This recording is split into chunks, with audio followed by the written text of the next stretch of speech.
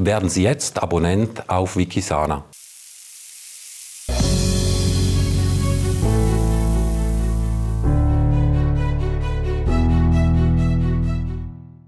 Wir denken am Tag mehr als 60.000 Gedanken und der überwiegende Teil ist keineswegs positiv. Herzlich willkommen, schön, dass Sie eingeschaltet haben zu unserem Format Naturmedizin. Ich habe heute eine, einen spannenden Gast. Äh, Bakit Nur ist bei mir. Sie ist eine Ärztin für Anästhesiologie und Intensiv- und Notfallmedizin sagen wir mal, sie war Ärztin in diesem klassischen Beruf, aber hat ihren Weg inzwischen etwas verändert und das wird sicherlich auch zur Sprache kommen. Aber grundsätzlich geht es uns heute um Gedanken und was machen sie mit uns, was machen sie, wie wirken sie auf unsere Gefühle, wie wirken sie auf unser Leben, welche Leben Lebensbereiche beeinflussen sie überhaupt? Und das ist eine ganze Menge. Bleiben Sie also dran, es wird spannend, sicherlich auch für Sie. Hallo liebe Bachit Nur, schön, dass du bei uns bist. Ich freue mich immer wieder sehr auf die Gespräche mit dir. Hallo Alexandra, ich auch. ich freue mich. Schön. Ähm, ich habe es ja schon kurz eingeleitet. Du bist eine klassische ähm, Medizinerin gewesen und ich sage es immer ganz gerne vorab, dass die Leute so einen kleinen Einblick äh, bekommen in dein Leben. Du hattest eine schwere Erkrankung oder beziehungsweise eine schwere Krebsdiagnose, Bauchspeicheldrüsenkrebs und bist aber vollständig genesen und das dank einer, ja, einer Lebensveränderung, äh, die du erfahren hast, die über dich gekommen ist, wie auch immer. Das kann man auch in deinem Buch, glaube ich, äh, nachlesen, hast du äh, schon gesagt. Ne? Ähm, Bachit nur mein Leben, Medizin und Heilung heißt es, glaube ich. Gell? Genau. Aber darauf wollen wir jetzt heute eigentlich gar nicht so sehr eingeben. Aber Gedanken haben natürlich auch wahrscheinlich bei deiner Genesung eine Rolle gespielt, oder? Bei meiner, ja, selbstverständlich. Ja. ja, also grundsätzlich wollen wir uns heute ja mal mit dem Thema auseinandersetzen. Was machen Gedanken mit uns? Wie wirken sie auf unseren auf unseren Geist, auf unsere Psyche, auf unsere Physis und auf ganze Lebensbereiche. Wir haben kurz im Vorgespräch auch schon darüber gesprochen, über Kinderlosigkeit. Ne? Warum ähm, oder wie kommt es zustande, dass es ein Paar, die eigentlich alles haben könnten, aber die eben einfach gerade diesen Wunsch sich nicht erfüllen können? Inwiefern spielen da oder können da Gedanken mit hineinspielen? Selbstverständlich bei denen außer den schulmedizinischen mhm. Ursachen, es gibt noch andere Bereiche. Bei mir war, ich möchte nur einfach so erzählen, äh, bei mir war einmal eine Dame, mal wunderschön gebaut, weiblich, so Kurven, so seitlich, wenn man schaut, richtig eine Flaschenkurven, das so gebaute Frau, richtig konnte, und sie ist verdient gut, gut lebt, hat sie einen tollen Mann und sie ist über 40 und so alles, ja, und sie hat bekommen und sagt sie, ich bekomme kein Kind. Was die Ursache, sagt sie, rein schulmedizinisch und so, ich bin gesund aber ich bekomme kein Kind. Und dann schaue ich ihr an und da sehe ich die Roma. Mut, äh, mutterliche Seite Mutter. Und sie ist erzählt von ihrem Leben. Mhm. Und sie erzählt, sie ist, äh, das schaue ich an und sage, mein Gott, habe ich gesagt, sie erzählt, sie zeigt mir sofort in ein Häuschen, sagt, ich habe dieses Haus Stein für Stein gebaut. Mit jedem Stein Stück meine Gesundheit mit diesem Haus bis ich aufgebaut habe. Nebenbei habe ich acht Kinder bekommen. Sie hat, sie hat viele Kinder. Ich habe viele Kinder. Sie hat keine Zeit gehabt für sie. Sie ist so müde, Steier, Haus gebaut, viele Kinder gebracht. Und dann erzählt sie mir, sagt sie, sie hat so eine Nase voll von diesem Leben gehabt, sagt sie, bitte. Und sagt sie, keine Kinder, bitte macht euch frei, lebt doch für euch Gedanken. Durch diese ihre Leben dass sie hatten durch ihre schweren Lebensumstände. Es ist nicht, dass sie nicht kinderlieb gewesen. Eine wunderbare Frau, sie ist Herz hat so, nur dieser Mensch hat keine Zeit für sich selbst gehabt. Leben diese Umstände schwere Lebensumstände ihr haben so Spuren hinterlassen, dass sie hat nicht die Zeit, sie nicht ausschlafen könnte, nicht ausruhen könnte. Sie war für Kinder zuständig, für Haushalt war zuständig, nebenbei Haus bauen. zusammen mit dem Mann. Sagt, wir haben Stein für Stein Haus gebaut, aber mit jedem Stein habe ich mir selbst das Leben schwer gemacht. Sagt. Mhm. So Haus aufgebaut und Leben schwer gemacht. Sagt. Ja, bitte nicht keine Kinder. Und sie kann, sagt, dann, sie war durch die acht Kinder, durch schwer Leben, eine schöne Frau, sagt, schau mal, ich hängt bei mir. Meine Busen hängen, mein Körper hängt, alles hängt. Sie war so eitel ein bisschen, ja. Sie, alles. Aber wenn du keine Kinder bekommst, schwer leben wirst du nicht. Guck mal an dich, wie schön bist du. Brauchst du denn noch Kinder oder sowas? Ihre Lebensart und Weise überträgt das die Dinge. Und interessant, was ich bemerkt habe, ist in der Familie, wenn die Kinder, erste Kinder, nach der Reihe, erste Kinder bekommen sie alles von Vaterseite. Zweite Kinder, Mutterseite übernehmen sie. Dritte 50, 50 und vierte rutscht auf die Erstklasse Erstgeborene, fünfte auf Zweitgeborene und so wiederholt sich wieder. Aha. Und bei ihr, sie hat acht Kinder und sie hat es die drei Mädchen gebracht auf die Welt. Und bei diesen drei Mädchen, die sind ihre Position, Mutterposition haben sie alle. Ja? Und die, bei denen jeweils haben wir angeschaut, genau zweitgeborene Tochter, bei jeder von denen, weil die von Mutterseite übernehmen Probleme. Sie ist die von jeder von ihren drei Töchtern zweitgeborene und jeder hat kriegt kein Kinder. Mhm. Und ich musste das auflösen bei denen. Jetzt muss ich nur noch mal kurz einhaken, äh, damit der Zuschauer uns folgen kann. Also du hattest die Patientin oder die, die, ich, die Patientin die Frau kam. und rolle ich ab und rolle ich die Geschichte von ihrer Oma genau. und von ihren drei Kindern und diese ja. eine von diesen drei äh, ihre Töchter, ihre Mutter. Mhm. Aber sie hat noch zwei Töchter. Genau. Und du hast die Gabe, dass du das siehst. Ne? Ja. Das ich wollte hab, ich nur noch ja, vervollständigen. Ich bin es ist, ja ja. Ich bin die Medium. Ich kann diese Beschwerden und die Ursache. Ich ja. schaue auf, als Heilerin auf andere Ebene. Was ist noch die hinter? Was ist das, das in die Seele macht? Was für eine Ding, das die blockiert, das die Körper blockiert zu dem, was er für was und was die Seele wünscht, das zur Erfüllung zu kommen. Von irgendwas, die Seele will frei werden. Ja? Mhm. Und wenn in dem Moment, wo die Seele kommt, ich als die Wacheten komme ich in diese Welt, in diese Körper, dann nehme ich die, die Genen von Mutter und Vater. Aber in Genen überall diese Gedächtniserinnerungen, Gedächtnis von ihren nicht verarbeiteten vergangenen Problemen, Traumata, Ereignissen, die welche nicht verarbeitet wurden. Interessant, Glücksmomente nicht speichert nicht. Ah. Nur die Schmerz, Schmerzmomente gespeichert werden. Und diese, ich bekomme mit. Und jetzt, bevor meine Seele sich vorankommt und sein Potenzial, meine Seele kann ich in, äh, ausleben, das, was ich bekommen habe von Vater, Mutter, das steht wie ein Block der lässt mich nicht durch diese Zwänge rauskommen. Das ist wie eine, etwas angezogen auf mich und lässt nicht. Mhm. Und, das ist, und deswegen diese Frau, junge Dame, alles hat. Finanziell, alles hat schön, aber ihre Wünsche nach Kind nicht erfüllt. In diesen Dingen. Und dann schaue ich an, was ist der Block, dass dieser Körper und diese Seele, ihre möchten, die sind nicht kommt in Erfüllung. Mhm. Und da sehe ich, aha, von Mutterseite, diese Oma, sie hatte fünf Jungs und drei Töchter. Mhm. Und die hat die drei Töchter sie mitgeführt zu den Frauen. Ja? Bitte, wenn du wie schön ist, sie ihr Leben so schwer war, absolut in voller Not und schwer, dass sie nach jedem Kind hat nicht die Zeit gehabt zu genießen, mit den Kindern sitzen und so. Sie war für alles zuständig und sagt und dann ist nachher gezehrt und sie ist mit habe ich nicht gewusst. Danach diese Frau erzählt, sie ist mit gerade mit 50 über 50 gestorben diese Frau, so früh gestorben auch und sie sagt, dann wird ihr ausgelaugt, dann ihr seid, ihr lebt nicht, habt ihr kein Glück und ist, ihr Leben ist in die Höhle wandelt sich. Mhm. Ja, nicht Kinder kriegen. Ja? Und diese Töchter, ihre drei Töchter, und eine ist von der Tochter ihrer Mutter. Sie ist bei ihrer Mutter Zweitgeborene. Andere, von anderen Töchtern, auch zweitgeborene Töchter. Alle drei haben sie keine Kinder, haben sie nicht gekriegt.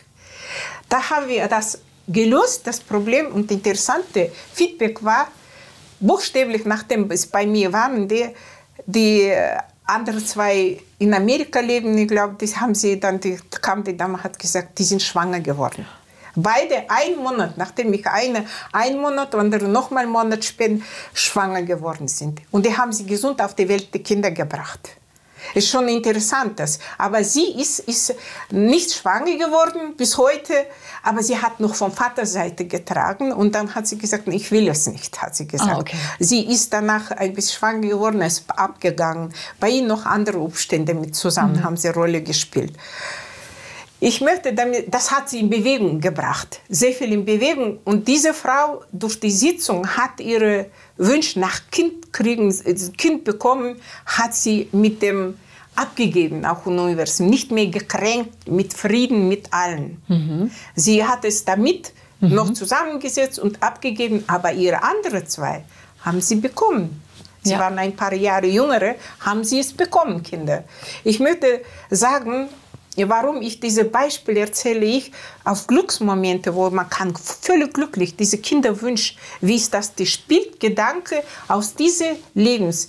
Jeder Mensch kann in eine dieselbe Situation befinden. So viele Menschen befinden in so einer Notsituation, viele Kinder, aber die Gedanke rausgezogene spielt die Rolle. Mhm. Eine sagt so, und diese Frau war sie war mit ihrem Körper, guck mal, ausgemergelt, hängende Busen, hat sie gesagt, dann kannst du nicht so schön bleiben, wie du jetzt und so.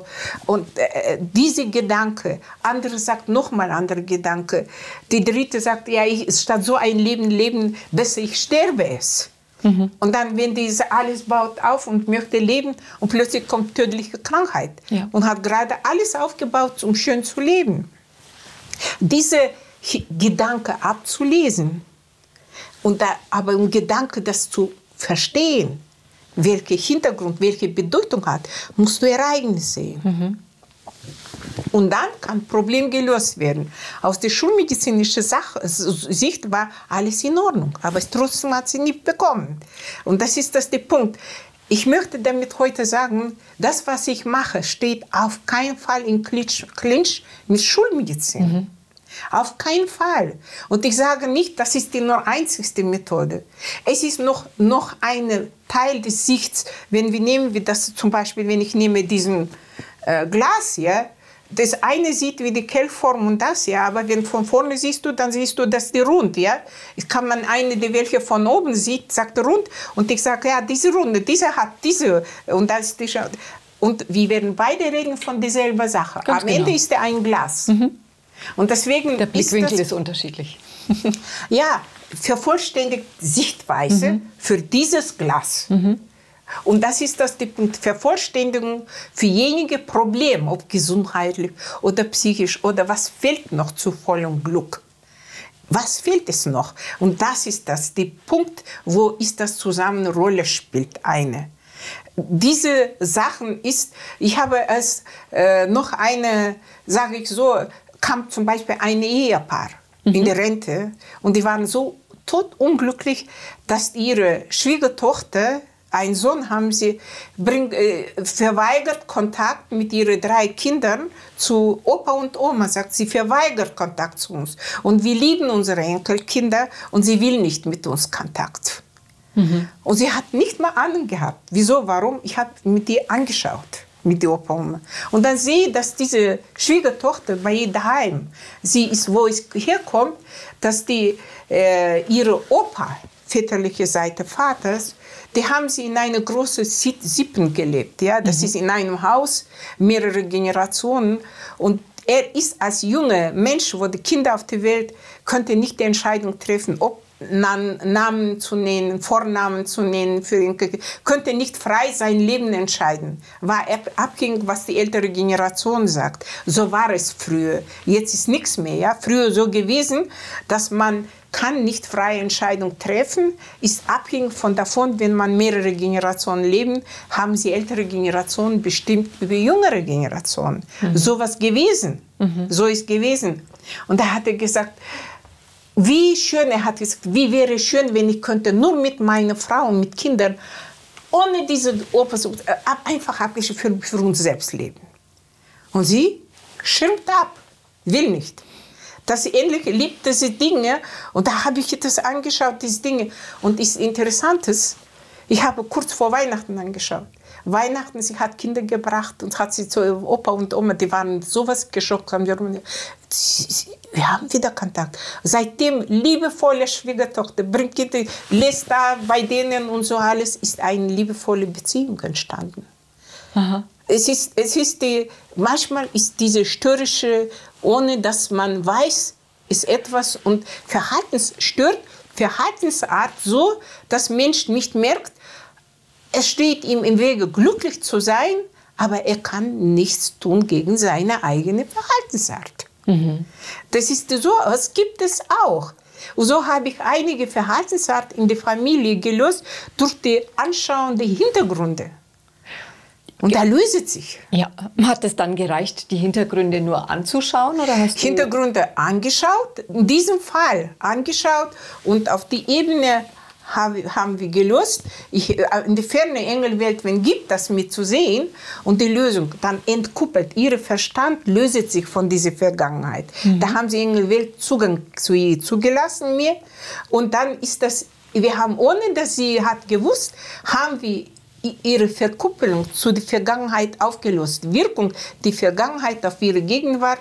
Wir haben auf Distanz, habe ich erklärt, das ist nicht dein Erlebnis, dass die Dinge Bewusstsein, Verstand, Bewusstsein, Seele kann den Verstand beeinflussen. Mhm. Und dass die Seele ist mit zusammengeführt und ich habe auf ihr Gehirn und so alles gewirkt. Aber diese Wirkung auf die Fremde ohne das Erlaubnis, es ist so, nur wird zugelassen, wem wird zugelassen, ohne das zu manipulieren, diesen Menschen. Mhm. Ja, Diese Ding mhm. ist das, dieses Problem hat diese junge Dame selbst gestört und ihr Glück vollständig, nicht vollständig genießbar gemacht, ja. wenn sie abgeschirmt hat. Sie hat mit eigenen Eltern wenig Kontakt und weiter. Mit dieser Opa, Oma, das die in der Nähe, äh, hat sie abgeschirmt. Aber ihr Mann hat es mit damit nicht ganz zurechtkommen können. Und dadurch haben sie andere gelitten. Aber ist jetzt, soweit ich weiß, viel bekommt, wunderbare Beziehung. Und die ist inzwischen eine die Opa, Oma lieben die diese Schwiegertochter. Und sie ist die nur kommt und dann ist das die Dinge, das ist so ein glückliches Familienleben. Mhm. Äh, und ist die, mit Tränen in den Augen haben sie berichtet. Schön. Äh, das sind die Glücksgefühle, wo die noch fehlt etwas zu Glücks. Man sagt, ich habe alles, aber ich bekomme nicht das. Mhm. Und was ich liebe gerne, wenn man in diese Stufe kommt auch, wo eine lindert diese Glücksmomente den anderen, ja, oder was ist da? Und da sind die Gedanken entstehend. Und diese Gedanken lassen sie nicht zu. Das ist wie eine feste äh, Festung, ja. aus dem du nicht rauskommst. Ja. Dein Verstand kommt nicht raus. Denn dieses Gehirn, er im falschen Verstand lebt, in falscher Zeit. So ist das, so ist das. Und gar nichts mehr hat in Gegenwart mit dieser Situation zu tun. Mhm. Dort gelebt hat das zusammen irgendwann zusammen unter irgendwelchen Umständen diese Ereignis wachgerüttelt wird, die mhm. welche in einen schläfrigen Zustand. Aber was? Ein Kind, zweites Kind, drittes Kind und dann möchte sie selber diese Ängste und so alles und dann ist er aktiv geworden. Mhm. Sie möchte nur mit ihrem Mann, mit Kindern zurückziehen und für sich leben, als ob bei ihr weniger wird es. Mhm.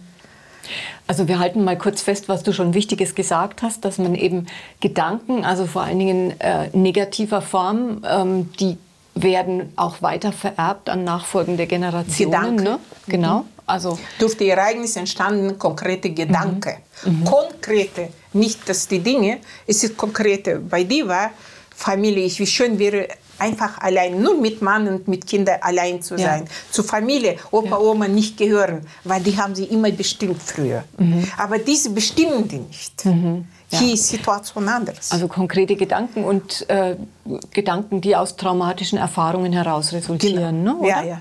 Hast du es denn auch schon mal erlebt, dass du äh, dann etwas gesehen hast für, also was zu einer Problematik, zu einer Erkrankung bei einem Menschen geführt hat, wo du aber dann keine Erlaubnis hattest, da etwas zu korrigieren? Ähm, alles, was wird gezeigt, wenn die Menschen kommen, die zu mir und das schon steht, manchmal die kommen sie rein, die sprechen sie nicht mal ihren Namen, Vornamen, ich habe nicht mal aufgenommen, schon sehe ich, bevor sie beschweren, ich sage, ist okay, danach sie erzählen sie mir, ich kann es nicht, ich schon steht. Aha. Lassen Sie mich sprechen ja. und danach erzählen Sie Ihre Beschwerden und dann sehen wir, ob das stimmt. Mhm. Und dann da sitzen Sie danach und sagen Sie, Sie haben Sie alle Beschwerden geschrieben, die ich habe. Ich könnte nicht besser beschreiben als Sie haben sie. Ich habe das alles. Wie geht es da? Das, was meine Oma oder Opa, das, das habe ich doch alles was Sie beschrieben haben. Ich sage, mhm. ja, Sie haben Sie das. Mhm. Aber ist das, Sie haben Sie bei Ihnen, um zu manifestieren jetzt diese Beschwerden, was da ist, auf der körperlichen Ebene muss auch Bereitschaft entstehen. Ein Haus wird nicht gebaut ohne Fundament und es zerfällt. Ja? Mhm. Und so muss man zu diesen Beschwerden auch Fundament. Und da ist das spielt jetzt auf der körperlichen Ebene. Ja? Um diese Beschwerden, das zu erscheinen oder sowas, Zähne, Darmzustand, Darm spielt eine Rolle miteinander. Das ist für das Immunsystem ist das sehr wichtige Sache. Umgang, Lebensart, wie du lebst, wie du ernährst, trinkst du, wie viel das deine Wasser.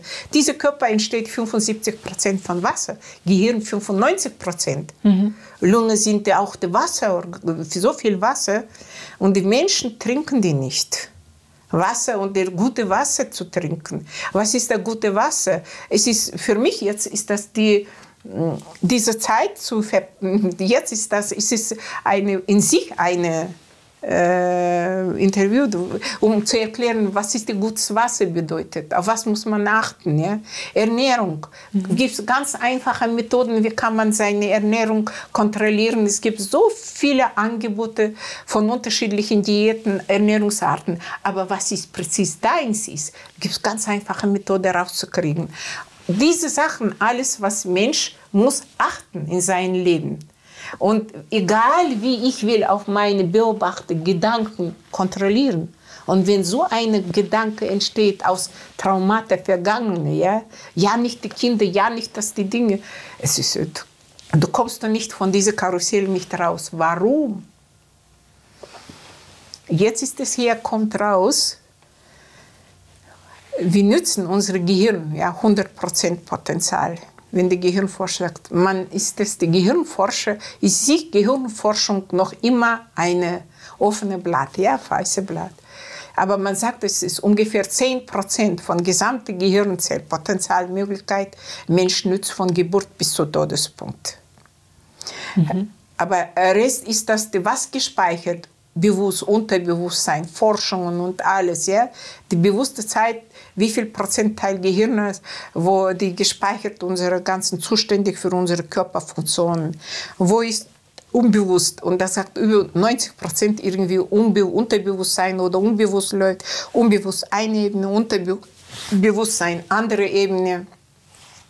Diese Sachen alles, wenn ich das nütze, ich nur 4, 9 Prozent. Alles, was ich sehe und so 4, 9 Prozent, 9 Prozent dann über 90 Prozent mein Potenzial nicht ausgelebt. Das ist was wie Menschen. Welches Potenzial in uns liegt.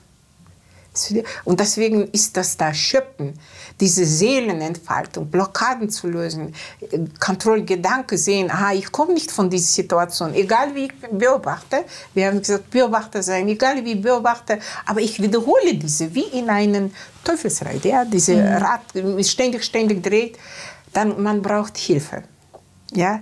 Und wenn man das, das katapultiert, katapultiert dann in nächste ja, Bereich. Ja?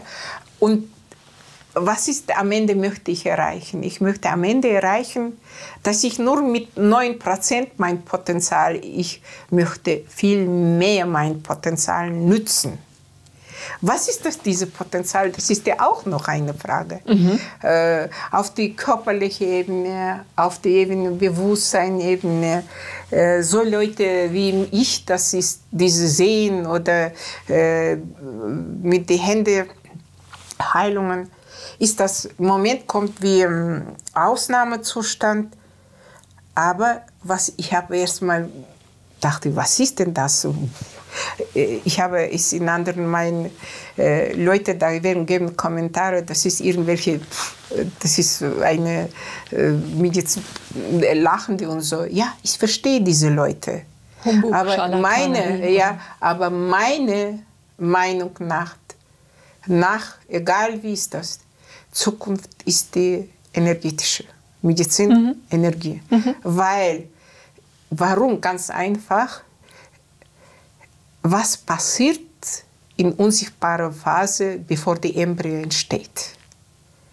Wie unsichtbare Phase funktioniert, bis das sichtbare Materie entsteht. Wächst die Materie. Was ist die Krankheiten, zum Beispiel Krebs oder Veränderungen im Körper durch die Röntgenbilder, äh, Computer, Tomographie. CT, Tom Tomographie, MRT und so alles, fest End, Endpunkt, die fixiert wird, schon die Phase, wo schon entstanden, aber die Entstehungsphase wird nicht diagnostiziert, ja, es ist nicht feststellbar. Noch nicht. Ja, das ist das der Punkt. Mich interessiert, was passiert in diesem Bereich. Ja. Kann man da ist das was? Wie ist das Zusammenhänge? Und die Fragen, die welche ich nie mehr als Schulmedizinerin gestellt habe. Und am Ende durch die Sendung, durch Sie und also diese QS24, inzwischen haben wir mehrere Sendungen gemacht.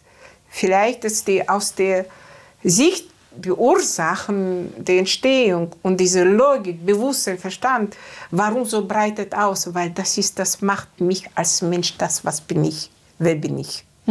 Wie kann es das in meine körperlichen Probleme oder in meine Glücksgefühl, was ist das die Glücksgefühl, was ist das die Liebe, wie ist das, wie kann ich ohne diese alle Sachen gesund leben können?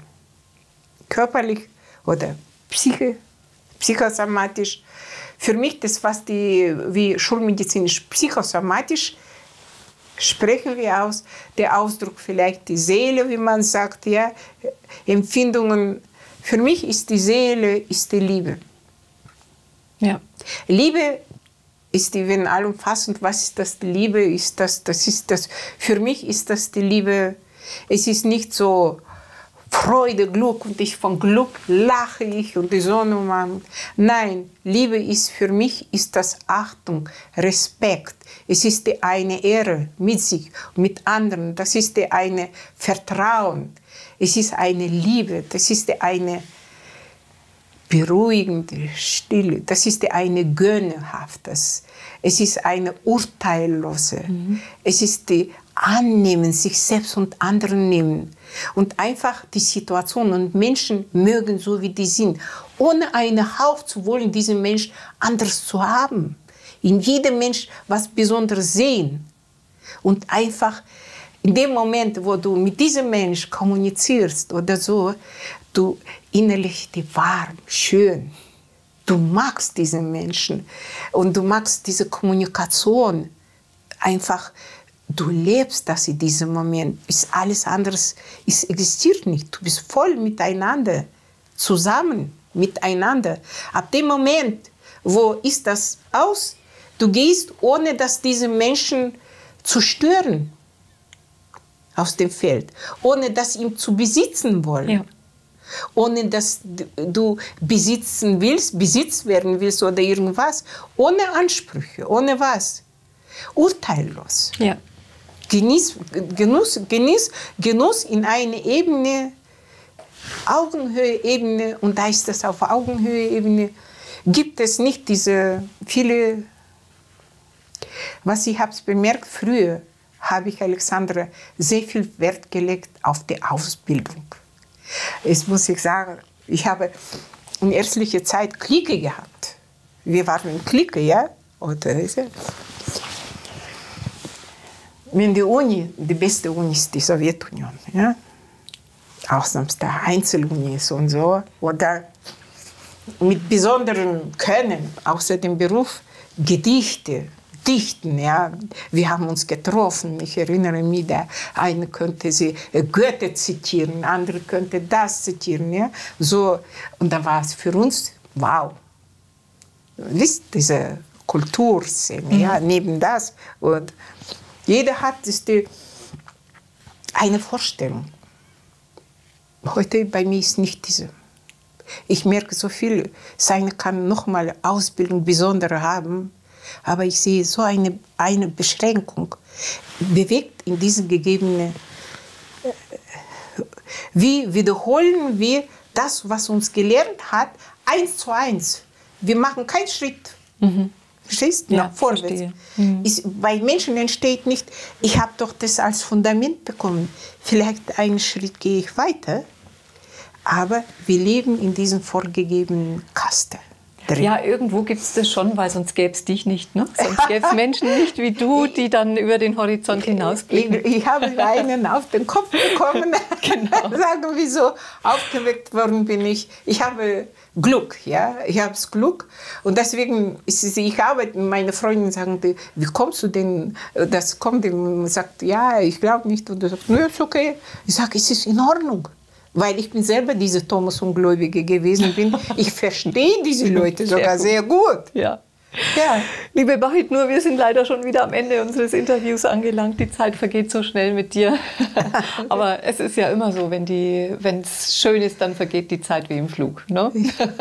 Ich danke dir sehr für diese sehr weisen und für diese sehr wertvollen Worte, die du uns geschenkt hast äh, im Zusammenhang mit, wie sollten wir miteinander umgehen, bedingungslose Liebe oder was ist Liebe überhaupt ne? und wie sollten wir auch mit uns selbst umgehen. Und ich hoffe, damit konnten wir den Menschen auch eine Perspektive Perspektive mehr liefern für heute. Ich freue mich schon auf unsere nächsten Gespräche, liebe Bachit Nur, und wünsche dir in der Zwischenzeit wieder viele tolle Erfahrungen mit deinen Klienten und äh, dass du hier wieder viele Lösungen schaffen kannst mit deiner Gabe. Ich danke dir, Alexander. Es war sehr schön mit dir. Danke. Es ist sehr schön. Auch Ihnen sage ich ganz herzlichen Dank, liebe Zuschauer. Ich hoffe, Sie haben jetzt auch eine neue Perspektive auf Ihre Gedanken und gehen mit Ihren Gedanken vielleicht auch ganz anders um. Und ähm, ja, wir haben äh, jetzt noch gar nicht erwähnt, wo wir die Bachit nur finden, aber wenn Sie uns auf YouTube schauen, dann finden Sie den Link auf jeden Fall in der Beschreibung, ähm, falls Sie das Gefühl haben, bei Bachit nur sind Sie gut aufgehoben und das wären Sie sicherlich. In der Zwischenzeit wünsche ich Ihnen alles Liebe und Gute. Passen Sie gut auf sich auf, achten Sie gut auf sich, seien Sie liebevoll zu sich selbst und zu Ihrer Umwelt. Dann ist alles gut. Vielen Dank fürs Zusehen und bis zum nächsten Mal. Ciao.